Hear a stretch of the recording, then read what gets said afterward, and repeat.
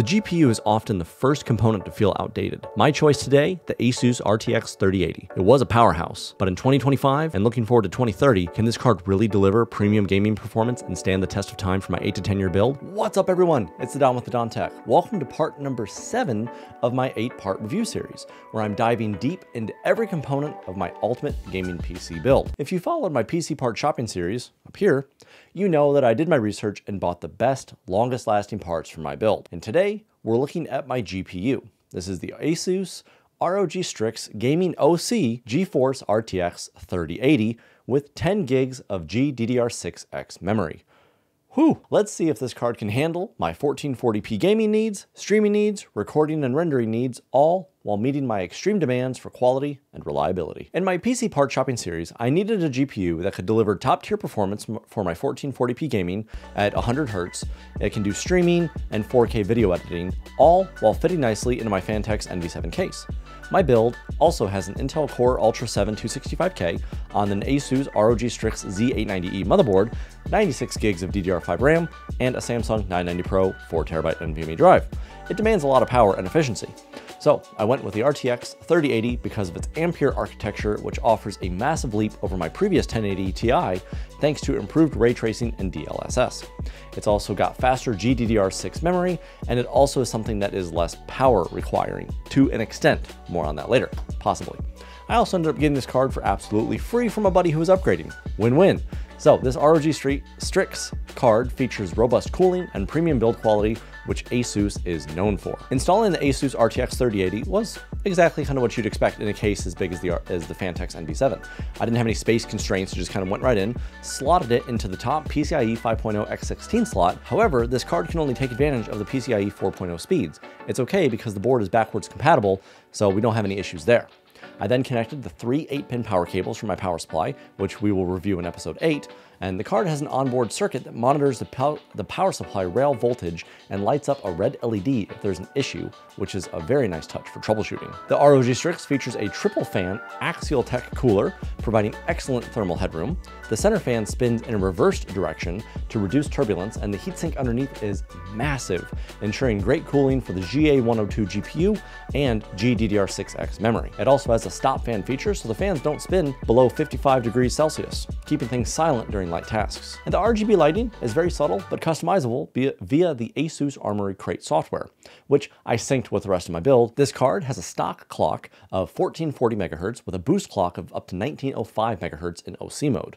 It packs 8,704 CUDA cores, 272 texture mapping units, or TMUs, and 96 render out output units, also known as ROPs.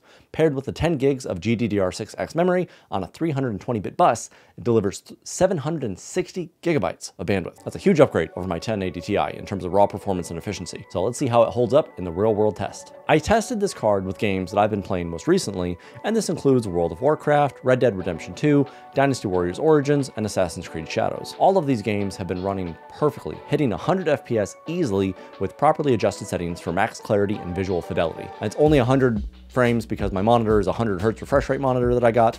I'm not upgrading and spending that much money on a monitor. I'm perfectly content with my monitor. Thermals are impressive. Thanks to that massive cooler, after 30 minutes of gaming, the GPU peaked at about 63 degrees Celsius, and the fan spinning about 1900 RPM, according to the specs, you know, the stuff within inside the computer, and it was producing no real noticeable noise, which was nice. I mean, you can hear fans running, but it wasn't like an air blower going on.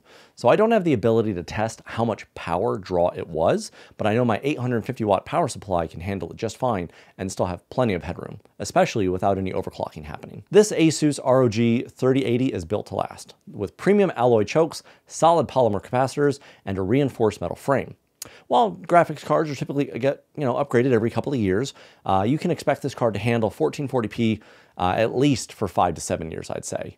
And the only thing that's a gripe about this card is it was a used card, so the mileage may vary. I know I'm not going to be doing any high refresh rate gaming or overclocking, and with the proper cooling that this has, it's going to give it the ability to last as long as possible. The only con I'd say I noticed about this card is that it's only using 10 gigs of memory, which that, you know, it can use it extremely well and be very efficient at it, but that can be a bottleneck in the future. A lot of titles, especially those that are not well optimized, will run into bandwidth problems at higher settings and resolutions. However, outside of gaming, this GPU will have no issues handling all my streaming and rendering, editing, recording needs for as long as I can tell. It will be able to do all of it flawlessly. There's also a ton of other features on the card that you can use with different, uh, what the NVIDIA Studio and all these different things that can kind of go into an honorable mention, but there's nothing that, it's just a card that needs to be efficient and do a lot of good things well that I'm doing. And so there's a lot of features out there that I'm personally not using that you might find useful. Also, another honorable mention is this card can do some pretty good overclocking. I've done a little bit of research on it and it does have a robust 22 phase VRM and that massive cooler as we mentioned. Using the Asus GPU Tweak 2 software, you saw that some users were able to get pretty high speeds and everything on the system, like up to 2085 megahertz. Say it's about a 4 to 5% performance bump. So that's kind of cool,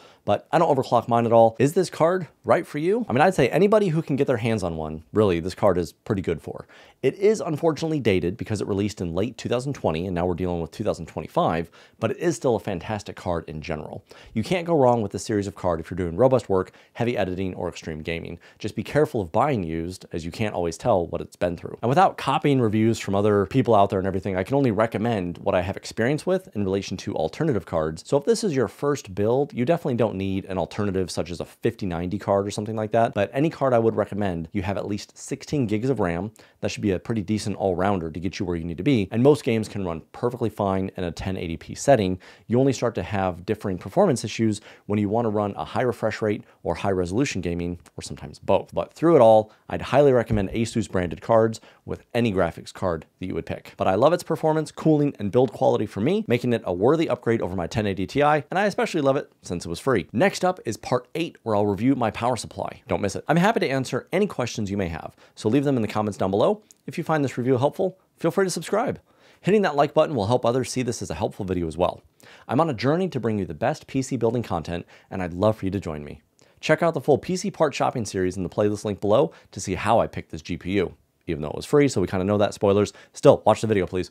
This has been The Don with the Don Tech, and remember, the Don's got your back. Would you believe this is my first time doing this?